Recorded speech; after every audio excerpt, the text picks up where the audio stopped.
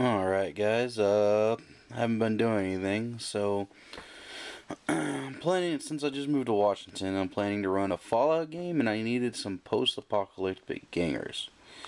You can pick this up from Mongoose Publishing for about, uh, online I got it on like about eBay for about under 10 bucks. Pretty good deal.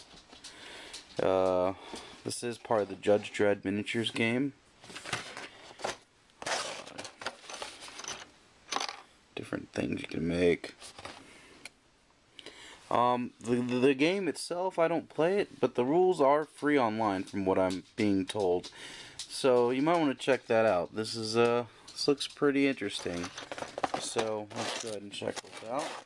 Check out what is in here. You do get a fair amount of screws for the price point. You get uh, torsos, legs, more legs, shoulder pads, and other such things. This is great if you also just need uh, bits for all different kinds of wargaming. You also have various weaponry. Sorry this is not not in my normal workspace as you can probably tell. So, also, your plain Jane faces, which is also great. It's a requirement, but yeah.